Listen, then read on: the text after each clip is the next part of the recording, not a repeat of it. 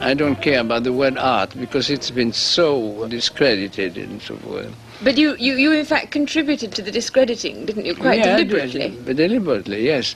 And I cannot explain everything I do because I do things or people do things and don't know why they do it.